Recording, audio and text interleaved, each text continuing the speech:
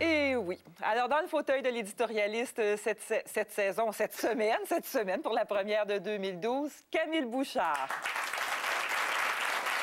Bonsoir, Camille. Bonne année. Euh, il paraît, vous, que vous voulez que Bazo.tv, dorénavant, diffuse en anglais à Télé-Québec. Why not? Ben, Why not, Marie-France? English is very trendy, even in Paris. yes. And you've heard about uh, these two top executives of the uh, Caisse de Dépôt who can speak English only.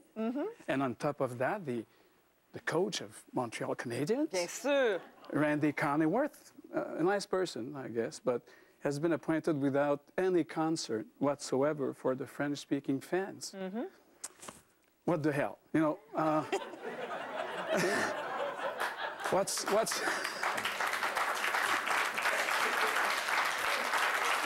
Yeah.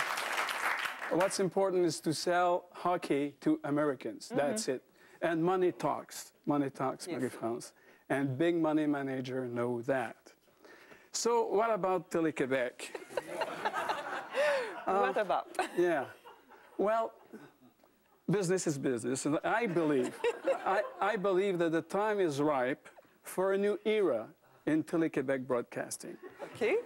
Télé-Québec, from my point of view, should become the first French TV network to broadcast its programs in English. That's it. Uh, I think it would be a gigantic stunt.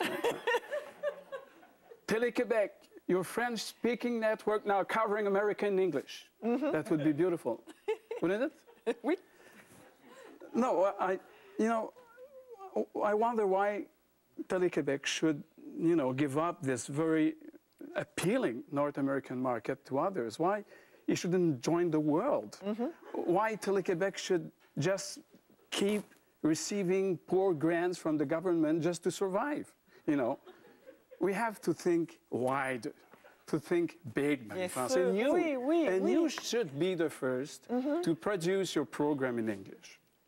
First of all, you have a- an enormous advantage. The title of your program is perfectly bilingual. Mais oui, c'est vrai.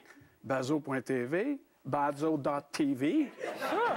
it, it writes itself all the same. You won't even have to change your logo or your business, business paper. Ben oui. Eh, and uh, maybe uh, you should think about it also because you'll, you'll be able to multiply your audience by at least 100. that means big sponsors with big bucks running after you on prime time. Wow. Wow, my friends.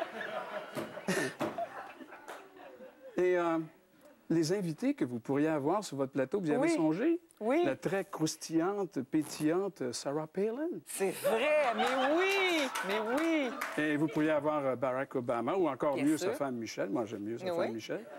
Et euh, vous pourriez avoir qui d'autre? Ah, ben, le premier ministre à vie et King du Canada, Stephen Harper. C'est vrai.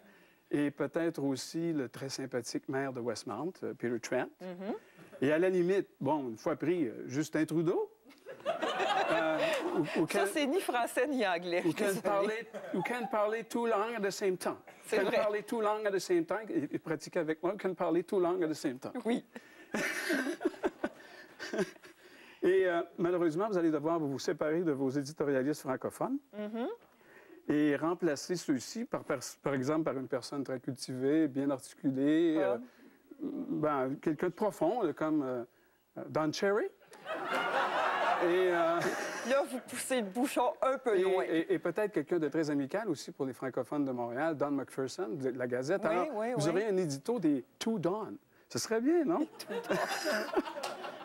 Mais moi, je, je vous suggérerais quand même de conserver un petit, une petite rubrique française, francophone. Mm-hmm. 5-6 minutes là, de, de, de, de de vieilles émissions, là, juste pour garder une petite couleur française. là. Oui. Les Américains adorent ça, puis les, Oui, les oui. Canadiens de l'Ouest aussi. Ce serait, ce serait très bien, je suis sûr. Mm-hmm. Alors, pour ce qui est de vos téléspectateurs qui seraient unilingues francophones, vous pourriez euh, offrir des sous-titres, Oui. si c'est pas trop dispendieux. Il faut que ça demeure là, dans, dans un régime d'accommodement raisonnable. comme ça. Alors, Alors, Marie-France, euh, Est-ce qu'on veut continuer à se marginaliser comme ça, juste pour perpétuer une erreur fatale de nos ancêtres, pour, pour protéger notre langue maternelle, pour, pour une quête vaine de diversité culturelle? Donc, je pense qu'il faut aller de l'avant, il faut ouvrir la voie à une assimilation définitive, complète, claire, sans retour à la langue de l'argent, la langue du commerce, la langue du pouvoir.